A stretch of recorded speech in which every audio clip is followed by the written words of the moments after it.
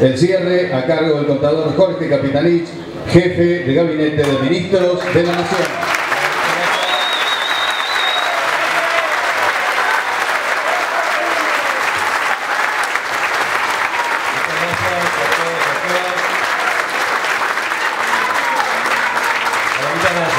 Eh, nosotros presentamos al Congreso de la Nación tres iniciativas. Estas tres iniciativas que se, presentan al Congreso de la Nación tienen eh, distintos niveles de desarrollo. La primera iniciativa tiene que ver con todo el sistema de servicio de instrumentación de conciliación obligatoria para las relaciones con el consumidor y ahí hacemos este, una modificación que tiene que ver con las cuestiones de la ley de defensa del consumidor, la ley de lealtad comercial, la ley de defensa de la competencia.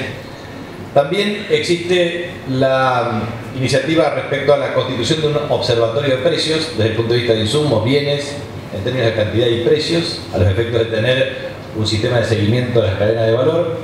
Y por último, una modificación de carácter estructural a la ley 2680 que denominamos de regulación de las relaciones de producción y de consumo. Qué significa cada una de estas iniciativas y sobre todo por qué se propuso esta iniciativa al ámbito del Congreso de la Nación y por qué fue la iniciativa de la Presidenta de la Nación.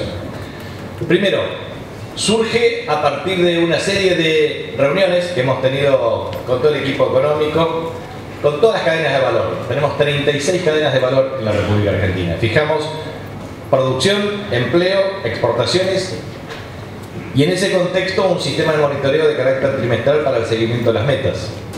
Y allí eh, hemos tenido la cruda realidad del análisis respecto a las pequeñas y medianas empresas asociadas precisamente a los extremos de la cadena, la producción y el consumo.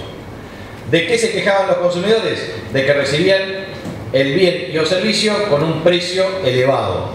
O sea, no recibían la calidad requerida y recibían a un precio elevado. ¿Y de qué se quejaban los productores? Que producían los bienes y servicios y no tenían un precio compensatorio. Entonces uno observa claramente, si se queja el que produce y si se queja el que consume, entonces el problema está en la cadena. Y eso implica una necesaria regulación del Estado para resolver los problemas. Por una razón muy sencilla, porque quiere decir que hay grupos monopólicos o oligopólicos que se apropian del excedente de la cadena de valor en, claramente. Entonces, ¿qué hicimos? Eh, por un lado, nosotros eh, observamos la necesidad de eh, hablar con la Presidenta de la Nación y la misma nos indicó claramente cumplir la manda constitucional del artículo 42. Eso es lo que se hace, de la reforma constitucional de 1994. Y a su vez, lo que nos planteó claramente la Presidenta es generar las condiciones para instrumentar el fuero del consumidor. Así como Juan Domingo Perón instrumentó el fuero laboral, Cristina Fernández de Kirchner instrumenta el fuero del consumidor.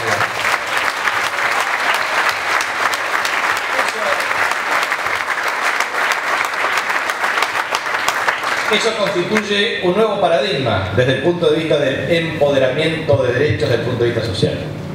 Y allí es eh, donde nosotros tenemos que pensar la situación muy claramente. Digo, hay dos iniciativas, que son estas dos primeras que comenté, que tiene cierto consenso. Creo que nosotros estuvimos nueve horas el otro día en el Senado, vamos a estar el martes. Eh, observamos que eh, la mirada especial está en la otra ley que me voy a hacer referencia, pero en general creo que hay cierto consenso con todo el arco opositor respecto al tema del fuero del consumidor y del empoderamiento a los consumidores y usuarios. Y en este sentido, ¿cómo va a funcionar el mecanismo? Muy simple. Un consumidor, hago consumidor porque puede ser consumidor o usuario, consumidor de un artículo de electrodoméstico, compra una plancha. Eh, la plancha tiene un desperfecto y no funciona. ¿A quién se dirige? Se dirige automáticamente a la instancia administrativa y tiene una conciliación obligatoria. La conciliación obligatoria junta al consumidor que va con la plancha y reclama y a la empresa que le vendió la plancha al consumidor. Muy bien. Si no hay conciliación obligatoria, inmediatamente pasa a un juez administrativo que lo habilita la Secretaría de Comercio Y ahí es donde debe funcionar el consenso con municipios, provincias, etcétera, a los efectos de establecer los mecanismos que correspondan para qué.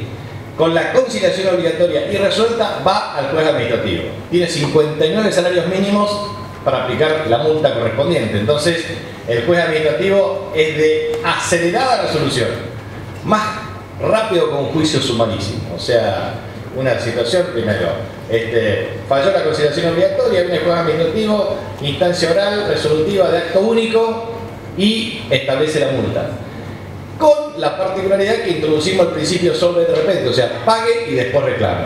¿Por qué razón? Porque antes el consumidor primero no sabía a quién quejarse. Segundo, cuando se quejaba de la justicia, dirimía las cuestiones de competencia, con lo cual pasaba el tiempo. Tercero, cuando dirimía la competencia, el juez fijaba una multa, la apelaba la empresa, por lo tanto, nunca había penalización de carácter pecuniario. Entonces el sistema ahora va a ser un sistema simple. Hay reclamo, hay una vía, hay conciliación obligatoria, no se pone de acuerdo, va al juez administrativo en un solo acto, sanciona y si está de acuerdo o si no está de acuerdo, apela a la instancia de la justicia. Y ahí tiene instancia de carácter federal y o de carácter local en el proceso de organización de la resolución. Es un sistema rápido, o sea, conciliación obligatoria, auditoría de las relaciones del consumidor, juez administrativo, instancia judicial. de este lado tenemos coraje, convicción y todas las ganas para seguir trabajando.